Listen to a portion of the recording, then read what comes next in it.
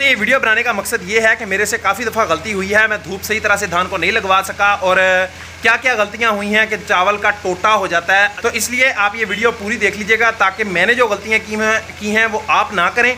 और धूप कितनी लगवानी है, किस तरह आपने उसको छड़वाना है, कितनी धूप लगवाने के बाद छड़वाना है और क्या क्या करना है, वो सारा कुछ बताते हैं आपको इस वीडियो में। तो अब चलते हैं वीडियो की तरफ़। अब देखेंगे कि किस तरह का जो है वो रिज़ल्ट आता है। ये चावल हमारे कितने खुश्क थे और साबित आते हैं, टुकड़ा होता है इसमें या नहीं होता, वो देख लेते हैं। आपका host dairy guide Mohammed Shukrullah और आप देख रहे हैं एनिमल इन्फार्मर टीवी तो दोस्तों आज में हम आपको बताएँगे कि अगर आपने चोना छड़वाना है यानी कि चोना जिसको बोलते हैं धान चावल छड़वाने हैं तो वो किस कैटेगरी में छड़वाने चाहिए आपको और कितने खुश्क होने चाहिए ये मेरे साथ भाई मौजूद हैं। वकास भाई का नाम है।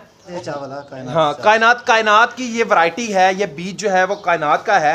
तो वकास भाई से पूछ लेते हैं कि ये कितना खुश्क होना चाहिए और ये जब साफ़ करते हैं तो फिर आपको दिखाते हैं कि ये कितना खुश्क था और किस तरह के चावल निकले अगर आप चैनल पर नए हैं तो चैनल को सब्सक्राइब कर लें और बेल के आइकन को लाजमी प्रेस कर लें ताकि मेरी हर नई आने वीडियो का वीडियो का अपडेट आपको मसूलत रहे।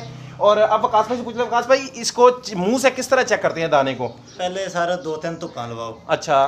ਫਿਰ ਚਾਵਲ ਨੂੰ ਛਿੱਲ ਕੇ ਉਹਨੂੰ ਦੰਦ ਥਲੇ ਰੱਖ ਕੇ ਚੈੱਕ ਕਰੋ ਅਗਰ ਆਵਾਜ਼ ਆਵੇ ਟੁੱਟਣ ਦੀ। ਅੱਛਾ ਕਟਕ ਦੀ ਆਵਾਜ਼ ਆਵੇ। ਜੀ ਆਵਾਜ਼ ਆਉਣੀ ਚਾਹੀਦੀ ਹੈ ਉਹਦੀ। ਅੱਛਾ। ਨਰਮ ਨਾ ਹੋਵੇ ਅਗਰ ਉਹ ਦੰਦ ਥਲੇ ਫਿਸਦਾ ਵਾ ਅੱਛਾ। ਤੇ ਫਿਰ ਉਹ ਸਮਝ ਲਓ ਵੀ ਉਹ ਕਾਮਯਾਬ ਕੋ ਨਹੀਂ ਉਹ ਧੁੱਪ ਹੋਰ ਲਵਾਓ। ਯਾਨੀ ਕਿ ਟੋਟਾ ਹੋਏਗਾ। ਟੋਟਾ ਹੋਏਗਾ। ਅੱਛਾ ਅਗਰ ਉਹ ਨਹੀਂ ਫਿਸਦਾ? ਨਹੀਂ ਫਿਸਦਾ ਤੇ ਸਮਝ ਲਓ ਵੀ ਉਹ ਚਾਵਲ ਸੁੱਕਾ ਵਾ। ਅੱਛਾ ਜਿਵੇਂ ਹੁਣ ਧੁੱਪ ਵਾ। ਆਵਾਜ਼ ਆਏ, ਹਾਂਜੀ, ਹੁਣ ਜਿਵੇਂ ਧੁੱਪ ਵਾ। ਇਹ ਦੂਸਰੇ ਤੀਸਰੇ ਚੌਥੇ ਮਹੀਨੇ ਦੀ ਨਾ ਮਾਰਚ ਦੀ ਆ ਜਿਹੜੀ ਧੁੱਪ ਆ ਦੂਸਰਾ ਮਾਰਚ ਦੀ ਤੇ ਅਪ੍ਰੈਲ ਫਰਵਰੀ, ਦੀ ਹਾਂ, ਹਾਂ ਹਾਂ। ਇਹ ਧੁੱਪਾਂ ਜਿਹੜੀਆਂ ਇਹ ਦੋ ਕਾਫੀ ਹੁੰਦੀਆਂ ਨੇ ਚਾਵਲ ਦੋ ਕਾਫੀ ਤੇ ਜਿਵੇਂ ਹੁਣ ਮਈ ਜੂਨ ਦੇ ਵਿੱਚ ਤੇਜ਼ ਧੁੱਪਾਂ ਹੁੰਦੀਆਂ ਵਾ ਉਸ ਉਸ ਸੀਜ਼ਨ ਦੇ ਵਿੱਚ ਕਿਦਾਂ ਦੀ ਧੁੱਪ ਉਹ ਹੋਣੀ ਦੋ ਚਾਹੀਦੀ ਘੰਟੇ ਧੁੱਪ ਬਸ ਹਾਂਜੀ 2 ਘੰਟੇ ਤੋਂ ਤੋਂ ਬਾਅਦ ਛਾਂ ਤੇ ਵੀ ਰੱਖਣਾ ਹੀ ਆ ਬਸ ਉਹਨੂੰ ਲਿਆ ਬਸ ਕੇ ਦੋ ਛੁਡਾ- ਘੰਟੇ ਧੁੱਪ ਕਾਫੀ ਉਹ ਥੈਲੇ ਚ ਪਾ ਕੇ ਤੇ ਬੇਸ਼ੱਕ ਨੂੰ ਛੜਾ ठीक हो गया जी अच्छा जी ये वकास भाई बता रहे हैं कि जो फरवरी मार्च और अप्रैल की धूप है वो दो दिन की होना ज़रूरी है दो दिन उसको धूप लगवाना ज़रूरी है और दूसरी बात ये कि जब आपने चावल छड़वाना हो तो चावल का छिलका हल्का सा उतार के, चावल को दांत के नीचे रख के देखें। अगर तो कटक की आवाज़ आती है, यानी कि चावल बिल्कुल खुश्क महसूस होता है आपको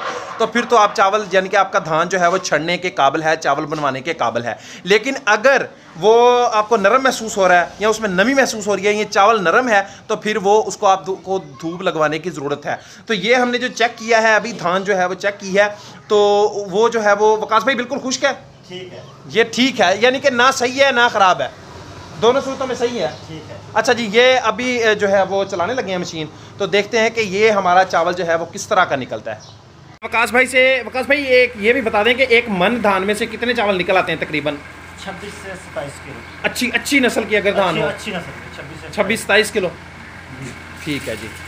तो ये जी तो छब्बीस 25 किलो भी आती है अच्छा। है मुख्तलिफ़ होती है जी। ये जी, माशाल्लाह से चावल हमारे निकल आए हैं। तो सही तरह से वकास भाई ने ये तकरीबन तीन से चार दफ़ा डाले हैं बार बार मशीन में, दोबारा दोबारा से। तो ये सही तरह से निकल आए। फिर आपको चावल दिखाते हैं कि ये हमारा चावल जो है वो किस तरह का निकला है, इसका टोटा हुआ है या नहीं हुआ? और तकरीबन कितने निकले हैं, हम तुलाई भी करेंगे। ये हमारा 38 किलो था 38 केजी हमारा जो है वो धान था। झोना यानी कि मुंजी थी। तो देखते हैं कि अब इसमें से चावल जो है वो कितने निकलते हैं मुकम्मल सफ़ाई होने के बाद। अच्छा जी वकास भाई ये ये जी ये चावल देख लें दोबारा से आप कि किस तरह के अच्छा वकास भाई कितना रिज़ल्ट आया थोड़े देखने ठीक है। बेहतरीन? हाँ है इतना टोटा नहीं होया? हाँ बेहतरीन है जी ज़बरदस्त है जी। अब इसका जो है वो वज़न हम चेक कर लेते हैं कि ये तकरीबन 38 किलो में से कितना चावल निकले हैं। ये वज़न देख लेते हैं हम। ये वकास भाई ने रख दिया इसको स्केल पे कंडे पे रख दिया। तो ये जी चेक कर लेते हैं अभी कि ये कितना निकला है अठतीस किलो में से पच्चीस किलो। ये पूरा जी पच्चीस किलो निकला है जी। पच्चीस किलो निकला है जी पूरा। और चावल देखें माशाल्लाह से। बेहतरीन, ज़बरदस्त चावल। जी आज की वीडियो वीडियो अच्छी लगे तो दोस्तों के साथ शेयर कीजिएगा, वीडियो को लाइक कर दीजिएगा, चैनल पर नए हैं, चैनल को सब्सक्राइब कर लीजिएगा, और बेल के आइकन को लाजमी प्रेस कर लीजिएगा ताकि मेरी हर नई आने वीडियो का अपडेट सबसे पहले आप, आपको मसूल हो और आप मुस्तफ़ होते रहें मेरे चैनल से।